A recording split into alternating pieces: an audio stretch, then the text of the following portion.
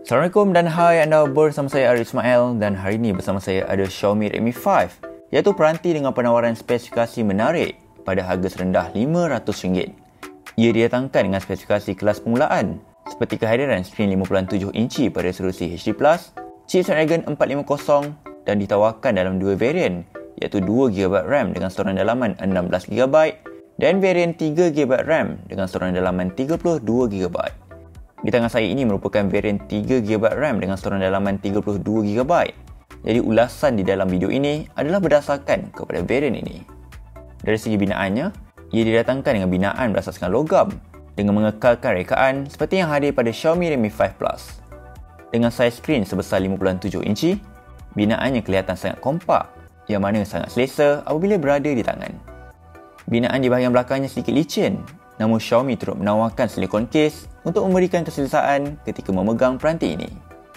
Binaan kameranya lebih tersembul keluar berbanding Xiaomi Redmi 5 Plus namun ia masih mengekalkan fungsi pengimbas jari di bahagian belakang ini.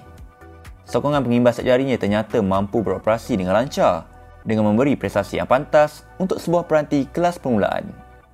Untuk port sambungan, ia menempatkan sambungan earphone jack 3.5mm pada bahagian atas peranti saya menawarkan sokongan IR Blaster untuk membolehkan peranti dijadikan sebagai alat kawalan jauh. Seperti kebanyakan peranti kelas permulaan yang lain, ia masih mengekalkan sambungan berasaskan micro USB di samping hadir dengan pembesar suara mono di bahagian bawah ini. Pada bahagian sisi kiri peranti, ia turut menawarkan slot dual SIM berasaskan hybrid dengan kebolehan peletakan kad micro SD pada slot SIM kedua. Untuk binaan di bahagian hadapan, ia membawakan rekaan skrin penuh pada nisbah 18:9 dalam memberi paparan yang luas untuk bacaan teks dan membuat tontonan video. Walaupun didatangkan dengan resolusi HD+, kualiti paparannya masih memberi hasil yang terang dengan viewing angle yang sangat memuaskan apabila dilihat dari sudut berlainan. Xiaomi Redmi 5 dijana dengan antaramuka MIUI 9 yang dibina berasaskan Android 7.1 Nougat.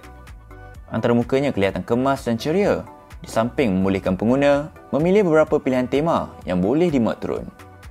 Ia menawarkan sejumlah fungsi menarik seperti sokongan one-handed mode untuk kawalan peranti melalui satu tangan dan fungsi app lock untuk kebolehan mengunci dan membuka aplikasi melalui imbasan cap jari. Seperti Xiaomi Redmi 5 Plus, ia turut membolehkan pengguna mengaktifkan kawalan full screen gesture seumpama iPhone X yang mana boleh diaktifkan melalui halaman settings. Xiaomi Redmi 5 dijana dengan chip kelas permulaan yang berkuasa menerusi chip Snapdragon 450 bersama pilihan memori 2 atau 3GB RAM. Chip ini sebenarnya hampir menyamai prestasi chip Snapdragon 625 jadi ia mampu memberi prestasi harian yang lancar bersama penggunaan tenaga yang efisien.